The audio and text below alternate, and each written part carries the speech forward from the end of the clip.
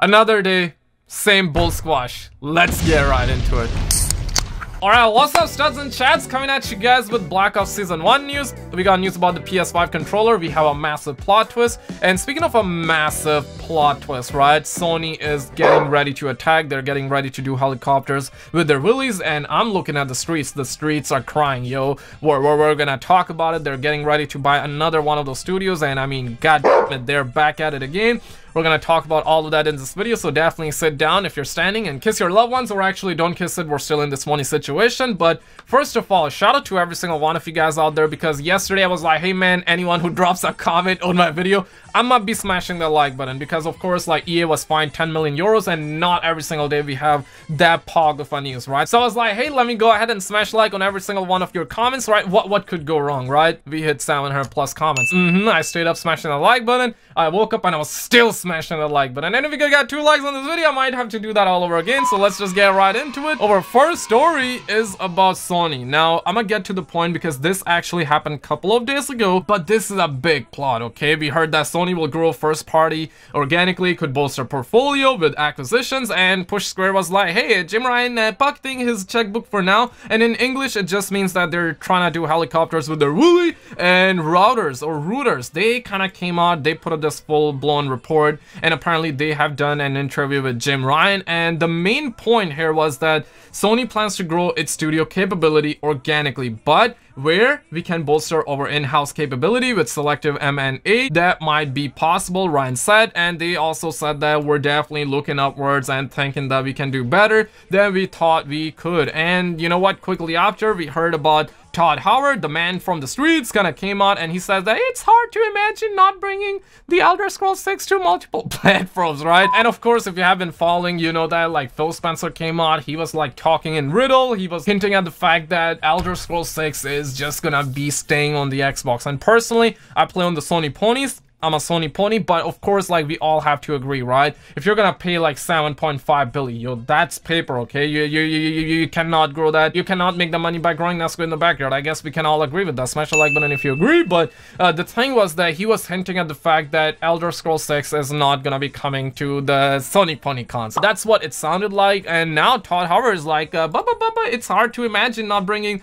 the Elder Scrolls 6 to multiple platforms. And I agree with Todd Howard. it, it is definitely hard to imagine but dog, like at the end of the day, your daddy just paid you 7.5 billion, so what else do you want, right? So if you're part of the 500 IQ gang, of course you cannot forget that, like their daddy paid them 7.5 billion, so needless to say, seems very hard to me that we're gonna see Elder Scrolls 6 on the PS5. Like I'm just gonna keep a buck 50 with you guys, and I'm really glad that I'm not a fan of Bethesda. I'm, I'm not saying that in a negative way, it's just that I never played their games, nobody told me about it, and same thing is kind of happening here with this situation where we're now hearing Sony has reportedly entered final negotiations with AT&T to acquire the anime streaming service Crunchyroll. And personally, this doesn't affect me either because nobody told me about like anime, right? Like nobody told me that anime existed. I'ma point my fingers, okay? I blame everybody but myself, okay? It's just that people did not tell me that anime exists, alright? But this is massive, yo, because uh, the, the streets will be crying if this goes through. Sony has reportedly entered final negotiations for Crunchyroll and allegedly prepared to pay upwards of $957 million.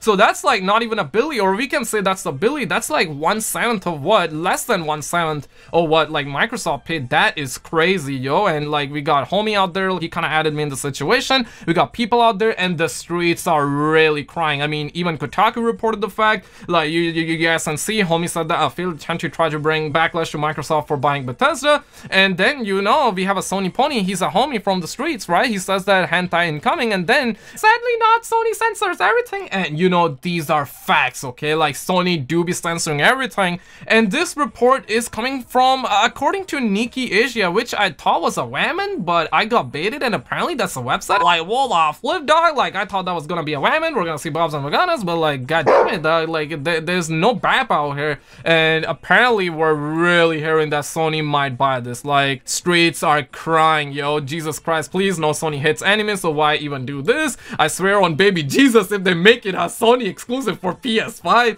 you can see like the, the streets are crying. On the flip side, another homie from the UK added me in the situation, said the UK going to national lockdown a week before Xbox release, mate. And all I gotta say here is that they're just bunch of wankers, mate. And then another homie added me in the situation, says that found this in Walmart, you know, waste money, live harder, says that for $220 you can get that 1 terabyte SSD for the Xbox Series X, and I, I gotta be honest, like, I'm like I always say, I'm not a prince of Saudi Arabia, right? And in my opinion, this should be $20. Yo, $20 is $20. Memes aside, it should be like $50, okay? Like $50, like, dog, like $220, you capping, yo. You capping, man. It should be $50 at the very least. But still though, I think 220 might be a good price. I'm putting a big might out here because I remember SSDs used to cost way more than $220. So maybe that's a good price. If any PC Master Race is around here, just uh, let me know in the chat, share your expertise. Speaking of a plot twist, we're actually hearing that the PS5 DualSense reportedly works with the PS3.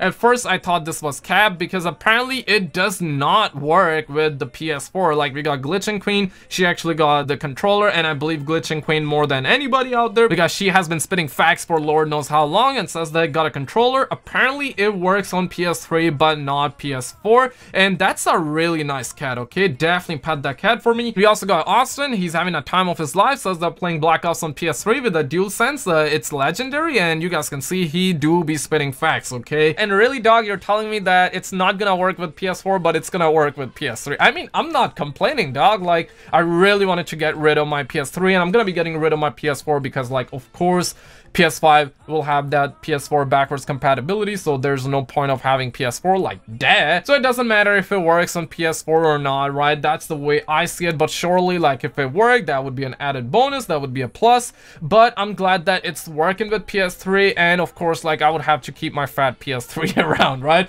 An accurate picture, by the way, you know, this is probably the millionth time I'm sharing this. I guess the more time I will put this picture, the more you will appreciate this picture, okay? And you got to appreciate the beauty, but dog, I really wish that PS5 had that PS3 backwards compatibility. Kind of sad about it, but I guess it is what it is. And we're also hearing about Black Ops. VGC put up this article, and yes, I'm like one day late on the situation. I wanted to cover this news in my last video, but the last video was kind of long, so I couldn't put it in the video. But we're hearing that Black Ops will be integrated into Warzone in December when Season 1 of the new Call of Duty game launches. And they also did say this that, however, VGC understand that a larger Black Ops theme map revamp isn't planned to happen until 2021. And I think these are facts, right? Because that's kind of like what we heard from the leaks as well. Personally, I like this a lot because in November, we're gonna be able to play zombies, we're gonna be able to play campaign and multiplayer. And once it runs dry, we're gonna have December. December is gonna roll around and then we get season one. I really hope that it doesn't come at the same time of like Cyberpunk. I know that December 10th is like Game Awards, we're getting Cyberpunk, and the chances are we're probably gonna see